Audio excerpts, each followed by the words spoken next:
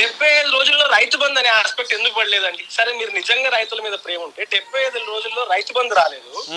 ఇంకా నెక్స్ట్ వచ్చే సమ్మర్లో మన వాటర్ ఫెసిలిటీ ఏంది అనేది చూసుకోవడానికి మీరు ఆ- ప్రాసెస్లో లేరు. కరెంట్ అనేది ఇంకా కరెక్ట్గా అందిస్తలేదు ఇప్పుడు కరెంటు రైతు బంధు అయితే మాయం కావు కదా కేసీఆర్ పోగానే. అవును. ఇప్పుడు రైతు బంధు అనేది ఇప్పుడు రైతు బంధు ఎప్పుడు పడాలి యాక్చువల్గా? ఆయన ఇప్పుడు సీఎం గారు మనకి ఏం చెప్పినారు? సీఎం కాకముందు ఏం చెప్పినారు? నేను కాగానే పదిహేను వేలు ఇస్తాను వేస్తా అన్నాడు అవును. ఆ తర్వాత ఏబిఎన్ రాధాకృష్ణ ఇంటర్వ్యూలో కూర్చొని ఫిబ్రవరి జనవరి ఎండింగ్లోకి ఇస్తా అని చెప్పినాడు. జనవరి బాయ్. మొన్న మధ్యలో మల్లికార్జున ఖార్గే వచ్చినప్పుడు మీటింగ్ పెట్టుకొని ఫిబ్రవరి ఎండింగ్లో. ఫిబ్రవరి దగ్గర పడ్డది. ఇంకేముంది? ఇక పది రోజులు. ఈ పది రోజులు. మరి ఇప్పుడు పోతే ఒక ముఖ్యమంత్రి స్థాయిలో ఉన్న వ్యక్తే రెండు సార్లు మాట చెప్తే ఎట్లండి? అవును. ఇప్పుడు మేము చెప్పింది కాదు కదా జనవరి ఎండింగ్లో వేస్తా అని ఆయనే చెప్పినారు. అట్లీస్ట్ వాళ్ళు చెప్పిందన్న వాళ్ళు. ఇప్పుడు రైతు బంధు అనే ఆస్పెక్ట్ ఏంది అంటే అసలు రైతు బంధు ఎందుకు ఇస్తారు?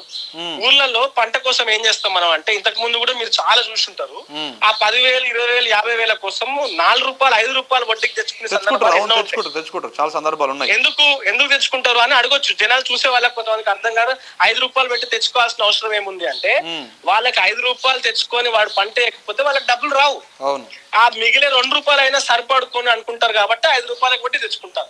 ఆ వడ్డీ అనే ప్రాసెస్ ఉండొద్దు కాబట్టి ఎకరానికి పదివేలు చొప్పున రైతు బంధు అనేది ఇంట్రడ్యూస్ అయింది. మీరు టైం కి రైతు బంధు ఇవ్వనప్పుడు రేపు పొద్దున ఇచ్చినా కూడా వేస్ట్ కదా. వేస్ట్ కదా. ఏ ఆస్పెక్ట్లో అయినా అంతే అండి. ఇప్పుడు మేడిగట్టు ఉంది మనం డిస్కస్ చేసినాము. ఎవడో వచ్చిండు గుద్దిపోయిండు.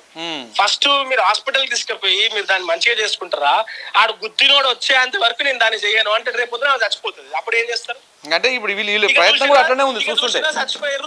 ఇవాళ? పేపర్లో కూడా అదే వచ్చిందండి. మేడిగడ్డ పైన మరో కుట్ర కుల్ల కుంగిన పిల్లర్ల వైపు వరద మళ్ళిస్తురంట ఇక. అంటే ఇప్పుడు ఎందుకు వర్ధిస్తున్నారు దాన్ని మొత్తం కొట్టుకొని పోతే అన్ని మళ్ళీ ప్రెజెంటేషన్లు పెట్టి టీవీలలో చూపించాలి. చూపించాలి.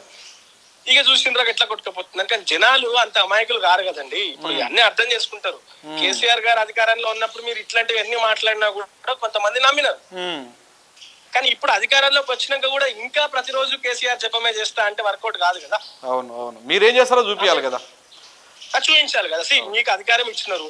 మీరు దాన్ని రెక్టిఫికేషన్ ఎట్లా చేస్తారో చూపించాలి కదా. ఆ విధంగా అడుగులే లేవు. అవును.